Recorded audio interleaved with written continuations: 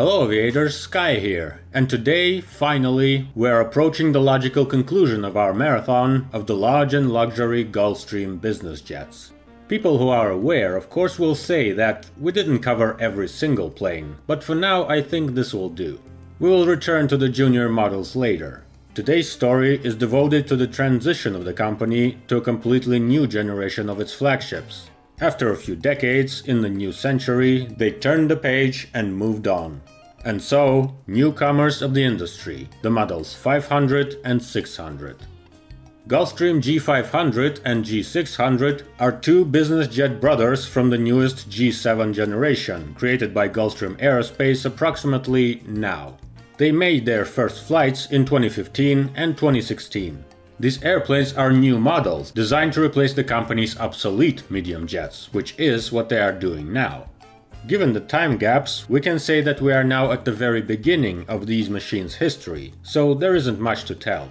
Technically, it begins at the end of 2009. It was a good time. Obama is the president, Windows 7 is released, shuttles are still flying, Rio is preparing to host the Olympics.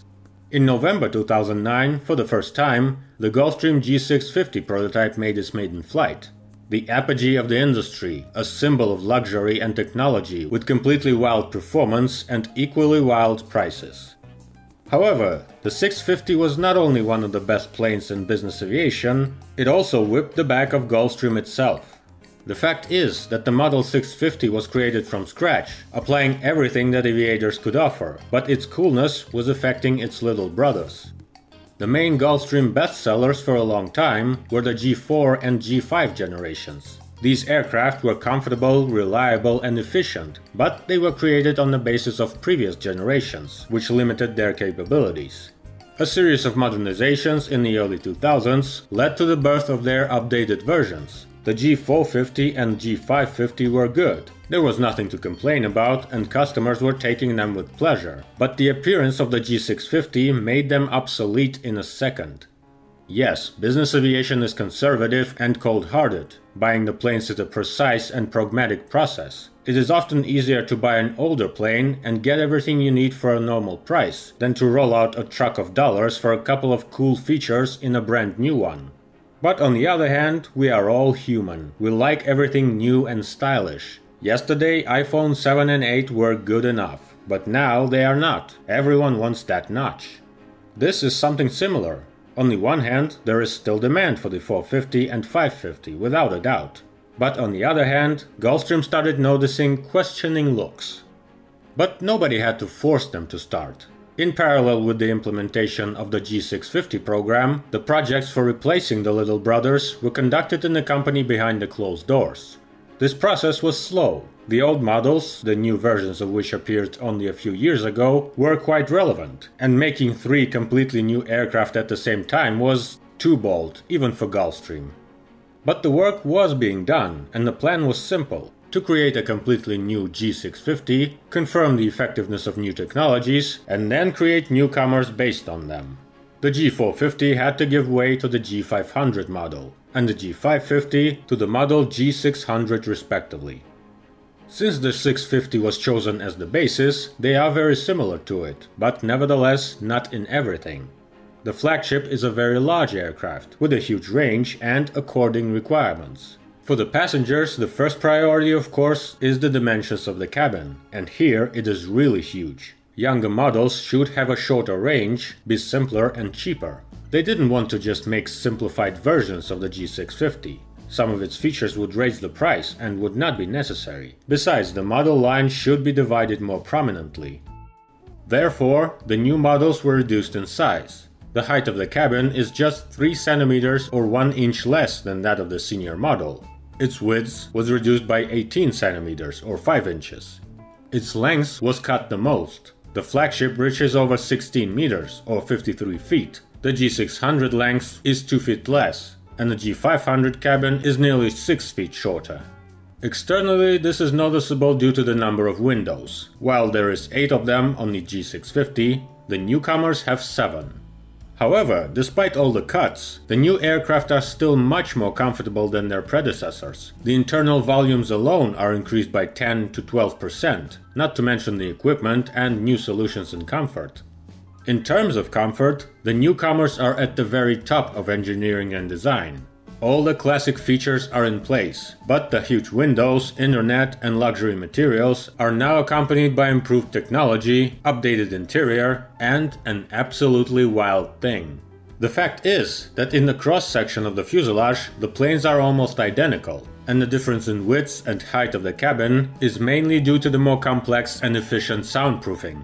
It comes to some discomfort. During a cruise flight, you might get a thought that the engines are not working. The maximum capacity of 19 passengers is a sacred figure for Gulfstream. Their planes will soon be the size of the Boeing 767, but they will still accommodate 19 people.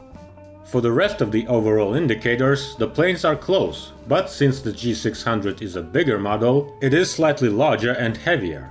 The maximum takeoff weight of the G600 is approximately 43 tons, or 94,000 pounds, against 36 tons, or 79,000 pounds, of the G500. The G650 is the heaviest, more than 45 tons on the basic and almost 47 on the ER version. Accordingly, the flight distances are increased. 9,600 kilometers or 5200 nautical miles on the G500 12,000 kilometers or 6,500 miles on the G600, 12,900 kilometers, 7,000 miles on the G650, and about 13,900 kilometers, 7,500 nautical miles on the G650ER. It is quite a ladder.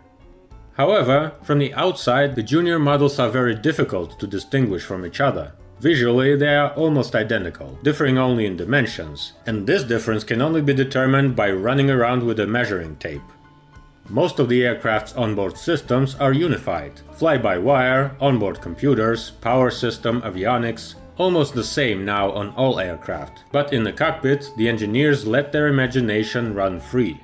For the G500 and 600, a new interface was developed, which was called the Gulfstream Symmetry Flight Deck, the core of this system, of course, is the Honeywell Primus Epic, but with serious modifications, huge screens, design solutions, ergonomics, a real beauty.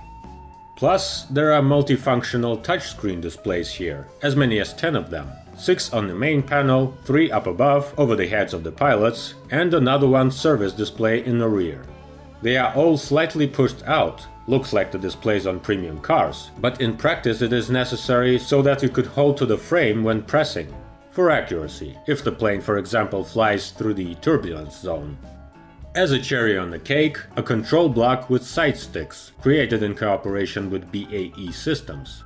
This is the first such experience for the company. The rest of their aircraft, including the G650, are all equipped with the classic yokes, the legacy of the yokes here is the active controlled side stick system, which improves the quality of the pilot's interaction. It doesn't feel like just a handle connected to the fly-by-wire, but like a real drive of the control systems. In addition, the side sticks of both pilots are synchronized, as if they have a mechanical connection to each other, like the classic steering wheels. It is of course an imitation, but in theory this should make it easier and more comfortable to operate the plane. So in general, you can really feel that the creators of the cockpit worked very hard for the pilots. The remaining solutions EVS providing improved visibility, synthetic vision showing a virtual three dimensional map, the head up displays, classic. One of the biggest innovations and differences from other models of the line are the engines. On the G650, as on most other aircraft of the company, the British engines are applied. But in this case, it turned out that they are not the best option, so Gulfstream shamelessly cheated on Rolls-Royce with Pratt Whitney. The G500 and 600 are using the Pure Power PW800 family engines, and this choice is quite logical. The fact is that the 800s are completely new engines, which moreover are based on the company's PW1000G, flagships in the middle segment that have now become the basis of the fiery hearts of the new generation airliners. The A320neo and A220, MC21, MRJ, E-Jet, E2. Having such a cool option, it would be strange to install something older. The G500 uses the version 814 with a thrust of 67.4 kN, and the bigger G600 applies the version 815 with a thrust of 69.8 kN. The engines accelerate both aircraft to a speed of Mach 0.9 and lift them to the already usual ceiling of 15.5 kilometers or 51,000 feet. So, the work came to the finish line by 2014 the G650 was already flying, and the time had come for new fashion shows. In October, a brand new G500 rolled out on the company's site in Savannah on its own engines. Its maiden flight was made in the spring of 2015. Over the next two years, a test group of four aircraft passed certification and flew more than 3,000 hours. And in 2018, they were joined by a pre-series board with all the options and interior. It was used not only for testing, but also as a demonstrator. In the summer of 2018, certification was complete.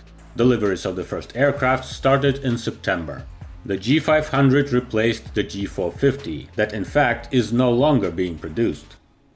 While the 500 was passing flight tests, Gulfstream was also training its big brother. The G600 made its first flight at the airfield of the Savannah plant in December 2016. Once again, four prototypes participated in the flight tests, plus one pre-production board. It was originally planned that due to the unification of two models, the G600 certification will be completed simultaneously with certification of the G500. Many systems had already been tested on it.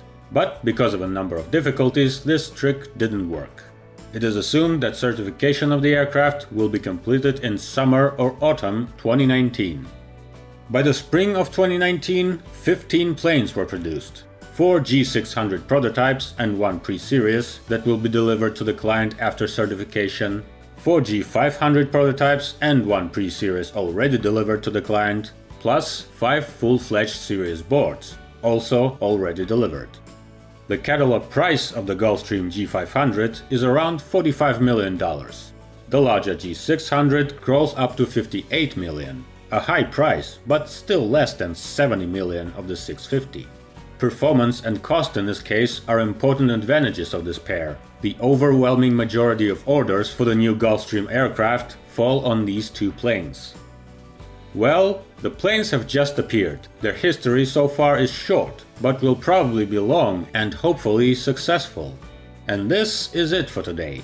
The voyage across the sky continues, and many new and interesting things are waiting for us in the future. Fast flights and soft landings to you.